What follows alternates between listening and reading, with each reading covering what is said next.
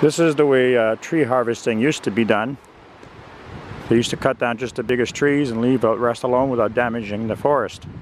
Nowadays, you've got clear cutting happening everywhere in BC, and what's left behind is a devastating mess where nothing grows. But here, as you can see, all these trees are alive and well, and a long time ago, somebody harvested this big tree. Unfortunately, there's no more big trees around here, but at least there's still the forest. But now you go look at all the clear cutting, and I've done lots of photos and pictures and videos of the clear cutting in BC, and what they're leaving behind is devastation, absolute devastation, which is also causing uh, the rivers to um, be full of silt because the water runs down these hills really fast now because there's nothing to slow it down, washes off everything and destroys uh, the habitat for wildlife and for everything else. So here's a look at an old tree and if you look at the link below this video, you'll find more photos and evidence of old and new ways of uh, cutting down trees. See more at thevisionaryphotographer.wordpress.com. Wow, check out this tree. It's anchored to this gigantic rock, and here's where I am. And this is a gigantic tree that they didn't cut down.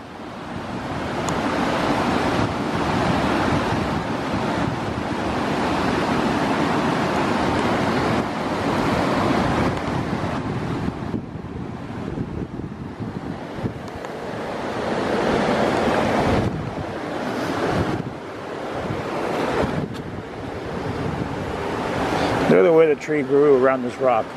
It's just amazing.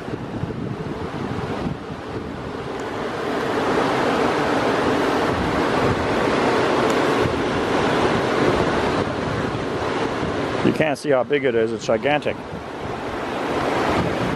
Amazing, isn't it?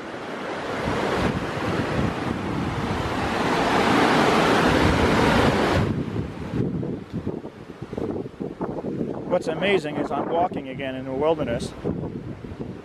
I've gained a lot of strength. I'm still going to use my wheelchair for walking any kind of distance whatsoever, but I can, if I walk slowly, I, I'm doing fine. What a beautiful place.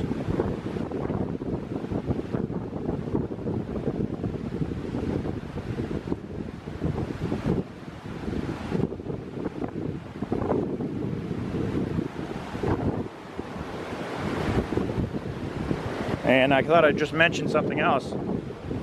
When I stepped out onto these rocks, I heard a crack over my head. And this branch right here, this long one right here, fell down a foot in front of me, smashed to the ground. If that thing had hit me from the height that it came at, it would have hurt me a lot, especially in my fragile condition.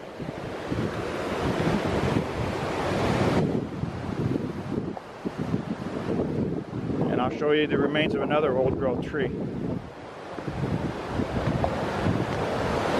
If I can see it from here. I can't, but anyway, I'll show you this tree I was just looking at.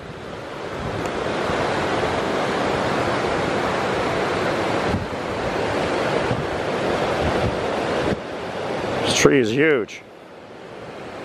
So a long time ago when they were cutting the trees down around here, the big trees, before they started doing clear cutting and just destroying the habitat, there's another big tree right here that, that was knocked down. See it right here?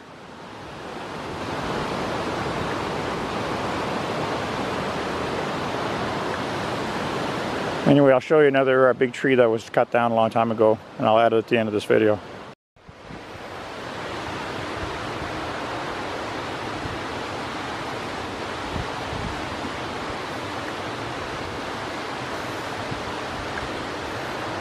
Once upon a time, there used to be big trees here, really big trees.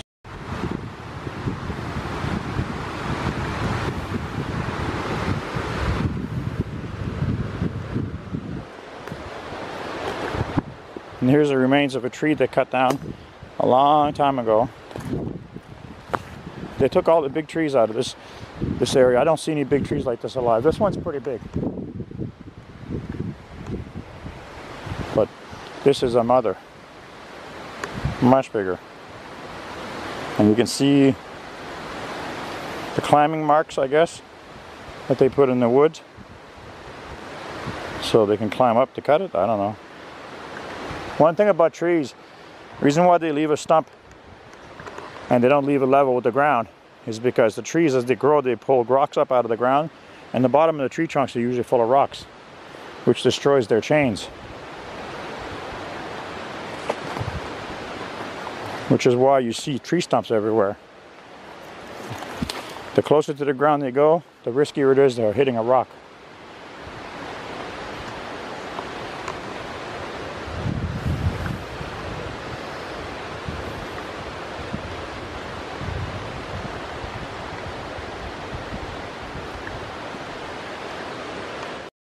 A close look at the growth on these trees. You tell me what this is. When you touch it with your hands, the stuff is dry, dry, dry. It's not moist at all. There we go.